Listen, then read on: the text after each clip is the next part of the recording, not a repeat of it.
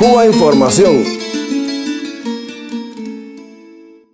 No me digan más mentiroso, no me digan más,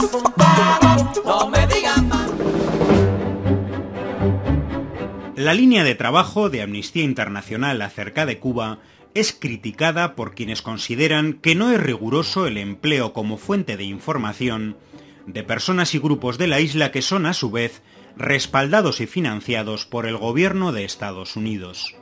En cualquier caso, si tomáramos como objetivos e imparciales los informes de Amnistía Internacional, concluiríamos que el número de presos de conciencia en Cuba es, a día de hoy, exactamente de dos. Esta cifra contradice la que aporta una de las fuentes informativas por excelencia de Amnistía Internacional y otras organizaciones, la llamada Comisión Cubana de Derechos Humanos y Reconciliación Nacional, dirigida por el disidente Elizardo Sánchez Santa Cruz. Este grupo, que es financiado por Washington, tal como se lee en un cable de 2008 revelado por Wikileaks, y cuyos informes cuentan con una enorme cobertura mediática internacional, asegura que en Cuba existen 90 presos políticos. René Vázquez Díaz, escritor cubano emigrado a Suecia, quien fuera responsable de proyectos para Cuba del Centro Internacional Olof Palme de Estocolmo, denunciaba recientemente, en este caso sin reflejo alguno en los grandes medios, que entre esas 90 personas hay todo tipo de terroristas y asesinos, y recordaba que ya hace años el centro Olof Palme acabó rechazando los informes de Lizardo Sánchez y su Comisión Cubana de Derechos Humanos por esta razón y por sus numerosas trampas y mentiras.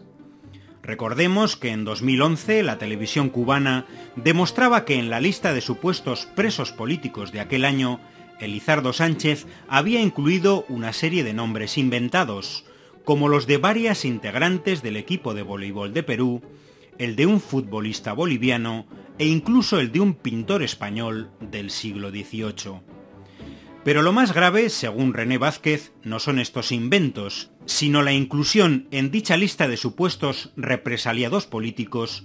de personas como Elías Pérez Becourt y Eric Salmerón, que en 1994 asesinaron a cuatro personas para robar un yate con el que llegar a Miami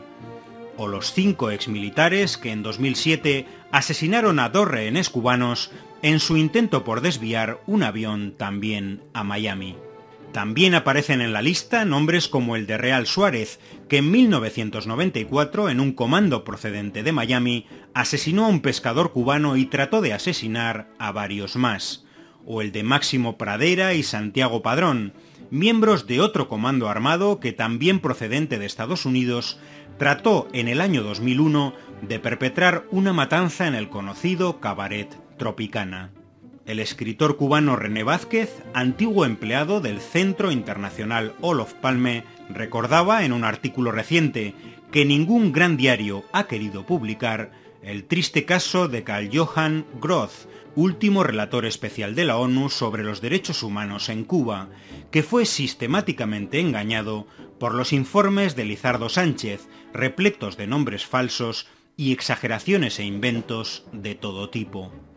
Curiosamente, quien falsea nombres e incluye a asesinos entre supuestos presos políticos sigue siendo hoy una de las fuentes principales de información sobre Cuba para gobiernos, grandes medios de comunicación y organizaciones internacionales como Amnistía Internacional o Human Rights Watch. Y es que parece evidente, lo de menos es el mayor o menor rigor de las denuncias contra el gobierno cubano. Lo importante es seguir alimentando el protagonismo de quienes, sin apoyo social alguno,